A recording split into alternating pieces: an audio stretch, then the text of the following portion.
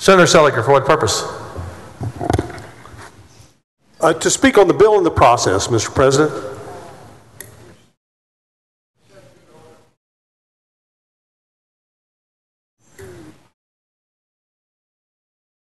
Senator Seliger, if you could put that in the form of at least a question to the author, since it's not a debatable motion, and then and speak whatever you would like to speak on, but you can speak on the bill if you'd I'd like be to speak happy on to the bill. entertain a friendly You can question. speak that later. Senator Bettencourt, would you entertain um, some comments about the bill embedded in some other comments about our process? I, I would be happy to entertain comments from uh, Senator Seliger. Thank you. You're recognized, Senator. Thank you very much. This morning, brought a couple of, of interesting observations, I think. The first of which is that if one are going to take notes to speak, they should be legible. And the other is that up through last night, we were, com- we were considering, contemplating a process to pass this bill that in some ways I think, discredit this body, something that should be avoided at all costs. Since this process started, we've really only discussed additions or subtractions to one bill. Everybody had the opportunity only to discuss one bill.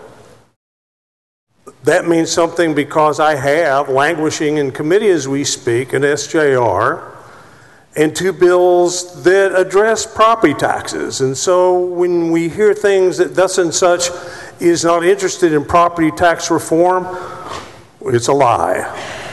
We should all be, because we all have constituents who own homes and businesses. It seems like people would be surprised to find out today that the Democrats in this body also have constituents who own homes they own businesses, and they're as concerned about taxes as anyone else. I was afraid that what we were going to prove today, that what is important is not the ideas and the tone of discourse on those ideas, is power. The thing that most surely would polarize a body, even if it is otherwise inclined to be deliberative.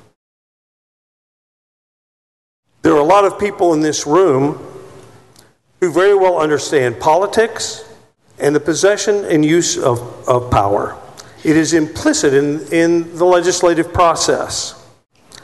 I'm afraid, though, that what we don't often talk about is what, in important uh, and intensive discussions, what we don't talk about is statesmanship. What can we do to ensure that our discourse and our disagreement, however contentious, is marked more than intensity and more than criticism, is statesmanship, the regard for other people's ideas. We've all been participants in partisan activities. As a former chair of the Committee on Redistricting, the most partisan process that ever takes place in this building, uh, I am part of, of that, and I am one of those, and maybe the correct person to provide a little bit of introspection. My predecessor, the late Senator Teel Bivins, was elected years ago, and when he was elected, Governor was a Democrat. Lieutenant governor was a Democrat. The majority in both the Senate and the House were Democrats with the ability to thoroughly dominate any issue. Here's what the blocker bill did for him as a new member and as a member of the minority. Someone once told me, a really wise individual, a member of the House said, if you're in the House of Representatives, if 50 people hate you, you're okay. You can do anything and amend the Constitution. In this body,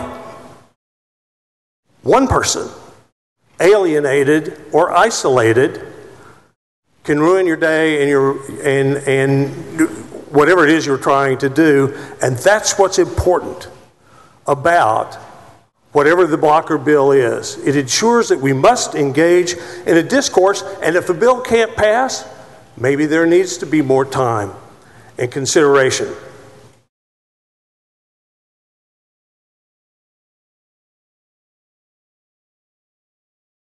It's true that what we talk about with the blocker bill is a procedural rule. Well, they're all procedural rules. Every one of them. There's a book of them. And they determine the way that we conduct business and the flow of business, and without them, it would be just purely chaos. That's what rules do.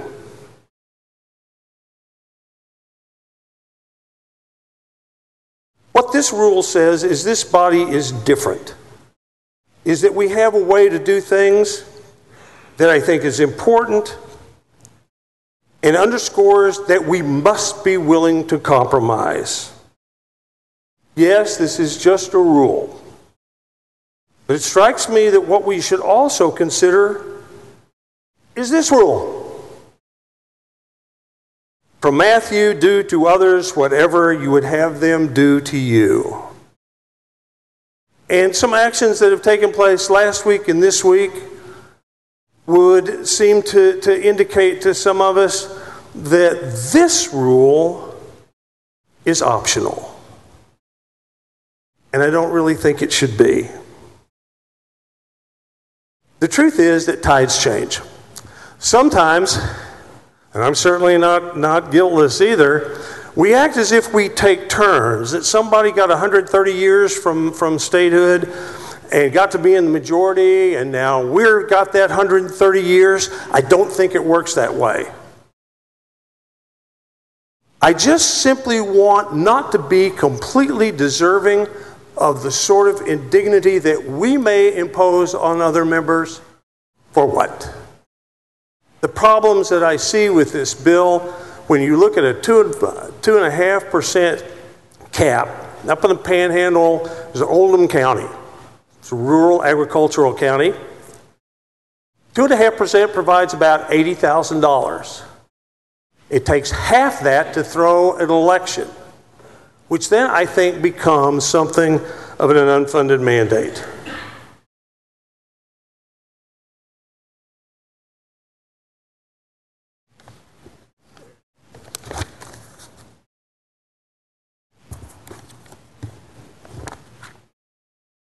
Sometimes we talk about, and we've heard, a, a, a, a very well known office holder in Texas said the Texas Senate is the most deliberative, organized body that there is, and when we contemplate something like doing away with the, the 19 vote rule, we are not. We are partisan and we are divisive and what makes us any different from Washington, D.C., and whatever states do that sort of thing?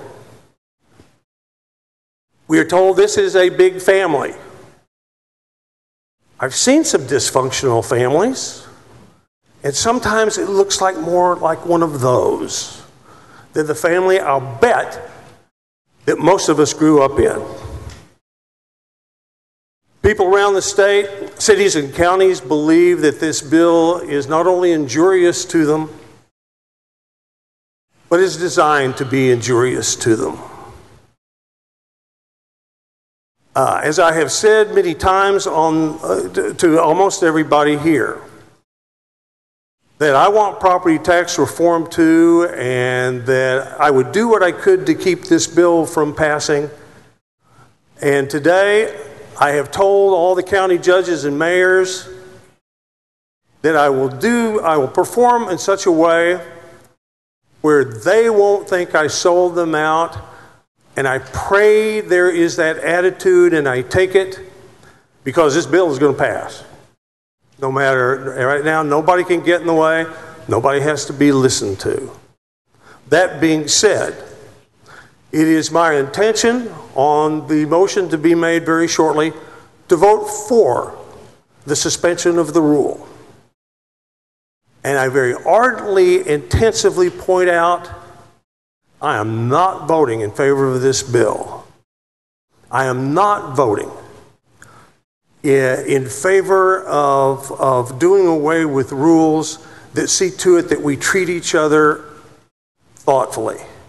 I'm voting, I'm voting for the Texas Senate.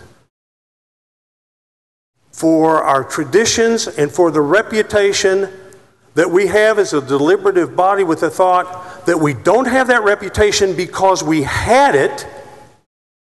We will have that reputation because going forward, we deserve it.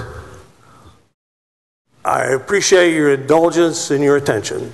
Thank you. Thank you, Mr. President. Thank you. Members, the motion is on the suspension of the regular order of business. Secretary will call the roll.